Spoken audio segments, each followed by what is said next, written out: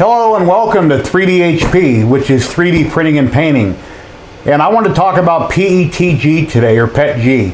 Um, it's been about three weeks ago. I'm building a hypercube, as a lot of you guys know, and I wanted to print all the, the printed parts from PETG.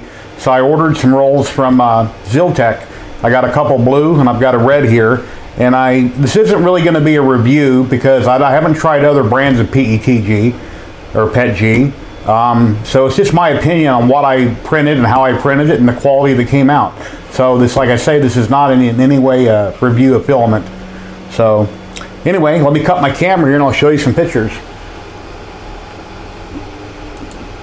Alrighty, there I got my close-up camera.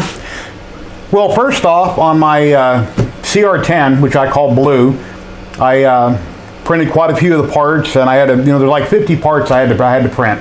So I loaded up the bed with like 10 or 12 parts and printed a batch and then another batch and another batch, basically. Here I can cut the video here and I'll pop it up on the screen and show you what some of that looked like.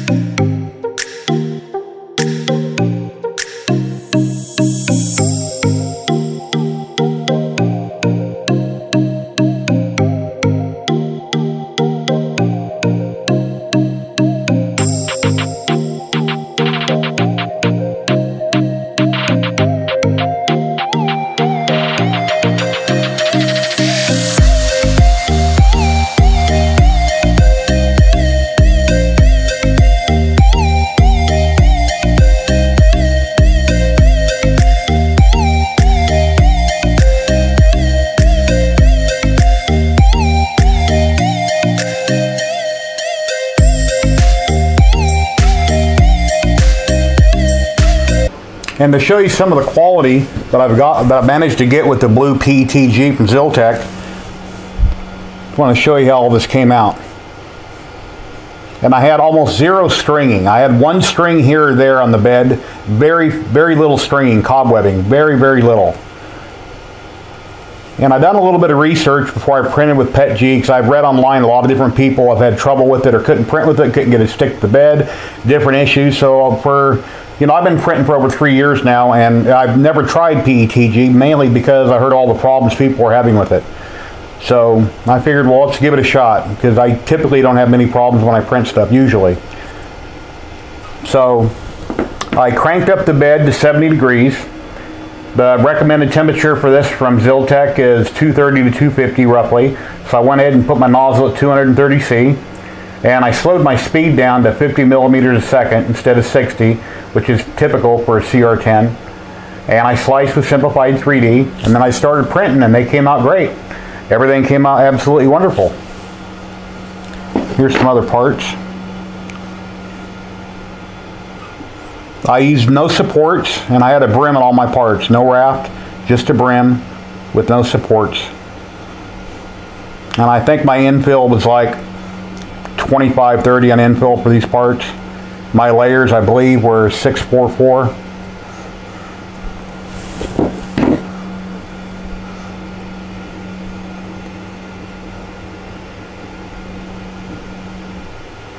They came out looking real good. And then over on my Tevo Tarantula Pro that I have, which I still have the original nozzle on it after, what, three or four months now, maybe five months, printing with it. I haven't replaced the nozzle. I went ahead and started printing with the red. And look what happened with the red. Tons and tons and tons of cobwebs. Lots of stringing, but once again, I had no supports on it whatsoever. So the parts, it printed good, I just got a bunch of cobwebs to clean off. I can take a heat gun, I can melt them away, I can pick some of them off, it's not a big deal. And here's some other parts here, printed on the Tevo. You can see, I got a lot of stringing going on there. A lot of cobwebs. which I couldn't understand. So I'm thinking, wow, I just printed all these parts day after day after day on my uh, on my CR10, and I didn't have that kind of trouble. Why on the Tevo? So I changed out the nozzle, and I haven't changed the nozzle on the Tevo before, so I put another brass uh, 0.4 millimeter nozzle on the Tevo, and then I reprinted the parts, same parts. And here's what happened once I put a new nozzle on. Almost zero stringing. So evidently my old nozzle was a problem. Printing with an older nozzle, which I thought printed perfectly fine until I tried to do uh, PETG you see a minor string, I've done no post-processing here, just pulled them off the bed and took the brim off. And here's that box again.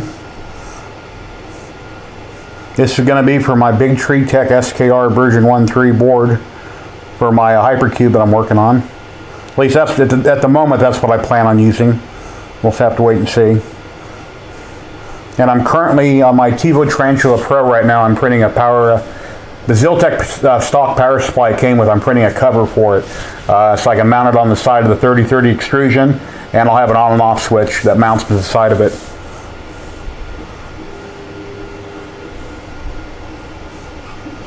The part wasn't quite right when I printed up the first box. The small hole where you insert the switch in the side wasn't large enough and there was no mounting holes in the side of it. So one of my Facebook friends, uh, Ben Brady, grabbed the file from my Facebook group. I sent it over to him and he modified it for me. So thank you, Ben. I'm printing it right now. We'll see how it comes out. I could have modified it in Tinkercad, but I hadn't done that yet. And while I was sleeping, Ben got the file.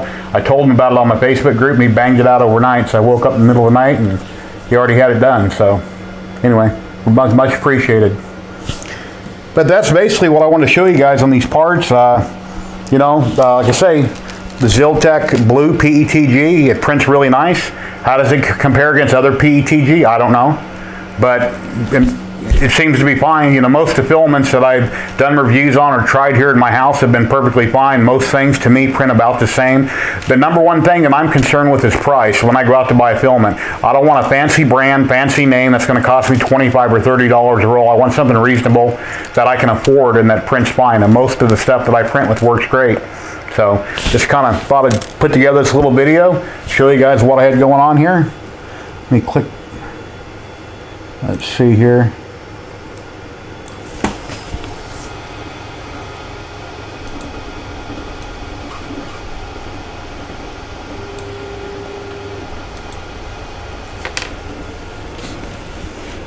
But yeah, print's really good. Like I say, I got two blue and a red. I'm going to be ordering more. Uh, in the future, you know, I print with ABS and enclosure, and PETG is supposed to be the best of both worlds. A little bit of PLA, a little bit of ABS, have properties of both in it. And I've had no problems with it. I love it. It seems to print great. Will I buy it in the future? Yeah, I'll definitely continue to buy PETG and start using it. And a lot of people said on some of my uh, comments on my groups, they said, well, don't you make anything practical? You just make models, that's it? It's just models? Well, yeah, for like three years now, I've printed just models, but you know, I printed a couple helmets, which are cool. I guess I could wear them at 7-Eleven and order Slurpee. Or, uh, you know, practical prints. I got, I'm starting to build this hypercube. I got things like this. I got these inserts uh, melted into them. The, I forget what they're called. They're brass threaded inserts. Starts with a K. I can't pronounce the word properly. But anyway, so, quick little video. Hope you liked it. I'm going to be getting part three of the Hypercube out here, hopefully today. Got to put some more parts on it. So, please like and subscribe if you liked it. If you got any comments or anything you'd like to see on the show, please let me know. And I'm starting to work on a website now, uh, 3dhp.net. It's under construction. There's only a couple things there, but new website I got going is uh, 3dhp.net. So, thanks, guys. Take care.